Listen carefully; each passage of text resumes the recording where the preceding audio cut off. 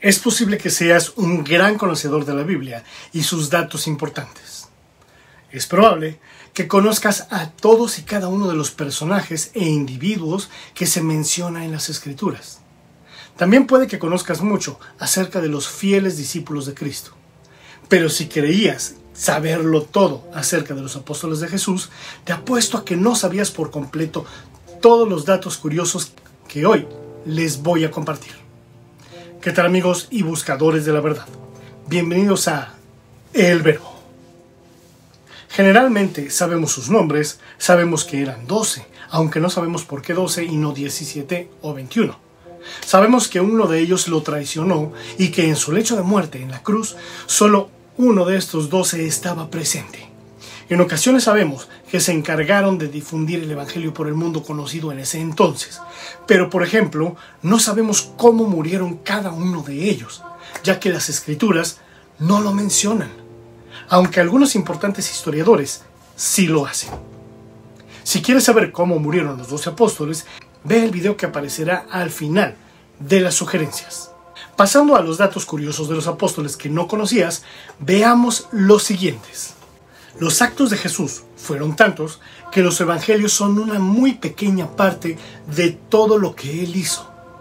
El apóstol Juan asegura que si se escribiera todo lo que Jesús hizo, no cabrían en todos los libros del mundo entero. Esto según Juan 21:25. El nombre original del discípulo Santiago era Jacob en hebreo y se adaptó al español el nombre Santiago por su similitud sonora al pronunciar San Jacob. El sudor como gotas de sangre de Jesús, mencionado en Lucas 22 del 39 al 46, es un extraño fenómeno llamado hematidrosis y ocurre en condiciones de estrés físico o emocional extremo y solo Lucas, quien por cierto era médico, mencionó este hecho. Santiago fue el primer discípulo mártir en morir por sus ideales. Mateo fue el único discípulo que aseguró su propio desempleo al elegir seguir a Cristo, puesto que el resto de los discípulos podían volver a su profesión de pescadores, pero Mateo no podía volver a su puesto de cobrador de impuestos. No se menciona la ocupación de María Magdalena, pero se cree que era una mujer acaudalada, o sea, posiblemente heredera, ya que poseía muchos bienes y dinero. Simón Pedro, nacido como Simón, pero llamado Pedro por Jesús debido a que él pondría la primera piedra de su iglesia. Siendo un pescador de Galilea, su fe con Jesús le hizo ser posiblemente su mayor seguidor. Los católicos lo consideran el primer papa de la historia y la persona a la que Jesús encargó la creación de su iglesia. Fue el apóstol más polémico, ya que pasó de ser el apóstol que negó a Jesús a lograr sanar con su propia sombra. Relato que viene en Hechos 5:15, en donde se menciona que la gente juntaba a sus enfermos en las calles para que la sombra del apóstol los tocara. Por supuesto, con la idea o la intención de que fueran sanados. Santiago el Mayor. Debido a la existencia de dos Santiagos dentro del grupo, a este se le conocía como el Mayor tuvo un importante papel dentro del grupo, ya que se encontraba en algunos de los momentos más importantes de la tradición cristiana, como fueron la resurrección de la hija de Jairo o las apariciones de Jesús resucitado. Cuenta el Evangelio que una vez al pasar por un pueblo de Samaria, la gente no quiso proporcionarle ningún alimento a este hombre junto con Juan, y le pidieron a Jesús que hiciera llover fuego del cielo para que murieran quemados, por haberlos despreciado. Lo sé, a mí también me sorprendió muchísimo la primera ocasión que lo leí. Debido a esto, Jesús les llamó la atención y tuvo que regañarlos por ese espíritu de venganza. Les recordó que Él no había venido a hacer daño a nadie, sino a salvar al mayor número posible de personas. Se dice que llegó hasta España a proclamar el Evangelio. Apóstol Andrés hermano mayor de Pedro y patriarca de Constantinopla. Es considerado por muchos como el primer apóstol de Jesús. Su relación tan temprana con Jesús y el ser ya un seguidor de la fe desde su trabajo con Juan el Bautista le convierten en uno de los apóstoles más importantes. apóstol Juan. El más joven de los apóstoles, al igual que su hermano Santiago el Mayor, fue testigo de algunos de los actos más importantes de la vida de Jesús. Fue el único apóstol que no se escondió durante el calvario y crucifixión de Jesús. Permaneció al pie de la cruz, mostrando su enorme lealtad. Vivió lo suficiente como para ver a Jerusalén destruida por los romanos y al templo en ruinas. Muchas fuentes dicen que fue el último apóstol en morir y uno de los pocos en morir de forma natural, expandiendo la palabra de Jesús durante siglos. Su símbolo evangélico es el águila. Apóstol Felipe. Durante su vida fue capaz de predicar la palabra de Jesús por Siria, Grecia y Frigia. Su relevancia como apóstol fue mucho mayor tras la muerte de Jesús que durante su vida, siendo una de las personas que más logró expandir su creencia. Apóstol Bartolomé. Es uno de los apóstoles con menos apariciones dentro de la tradición cristiana, existiendo incluso dudas de su existencia. Posiblemente el detalle más interesante de Bartolomé es que se dice que predicó la palabra por India, siendo posiblemente la persona que más lejos llegó. Apóstol Tomás.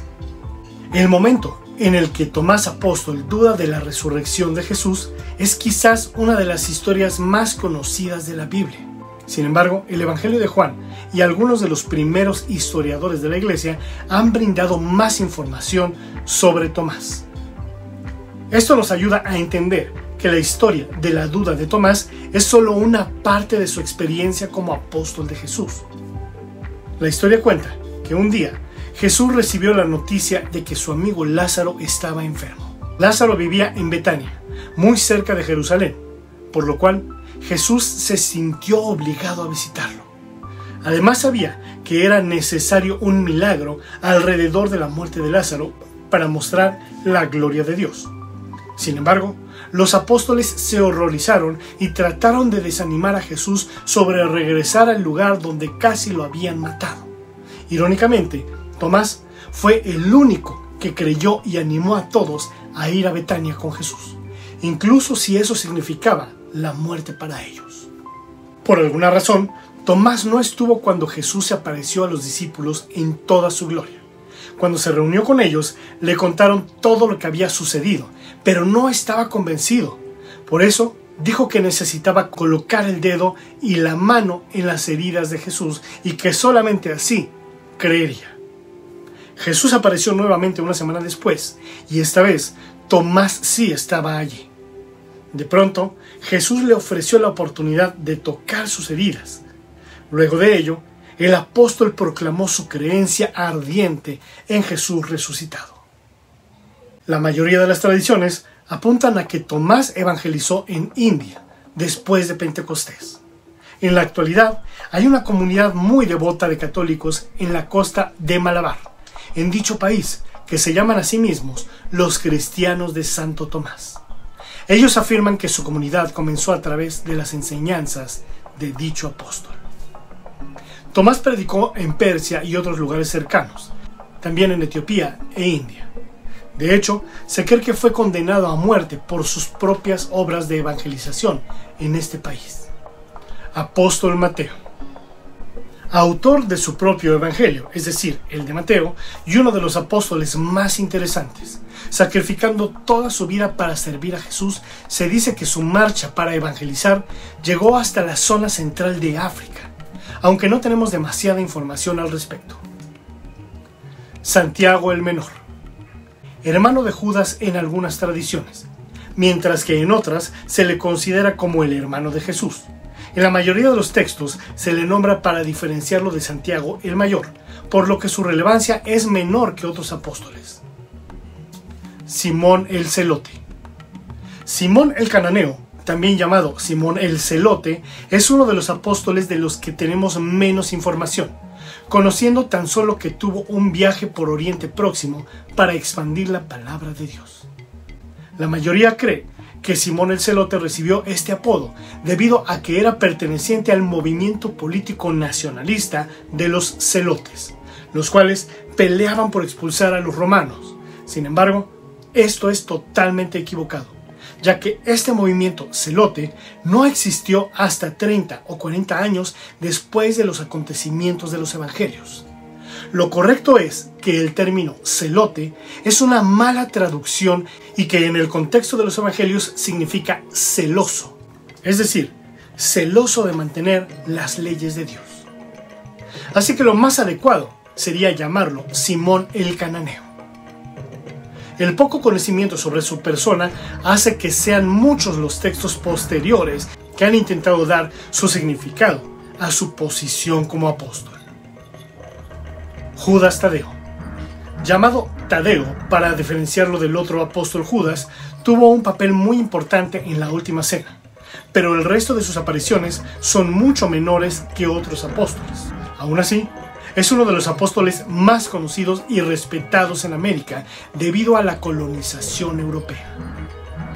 Judas Iscariote, uno de los apóstoles más importantes por haber vendido a Jesús por 30 piezas de plata, siendo el causante de la muerte y posterior resurrección del hombre que prometió seguir.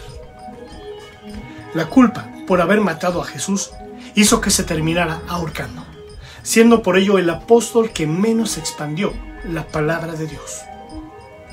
Se cree que Judas estaba relacionado con la tribu de Isaacar. Sin embargo, existe una opinión más extendida y verosímil. Judas tenía un nombre bastante común en su tiempo. En la traducción griega es equivalente a Judá. Era originario de Cariot, un pequeño pueblo del sur de Judea.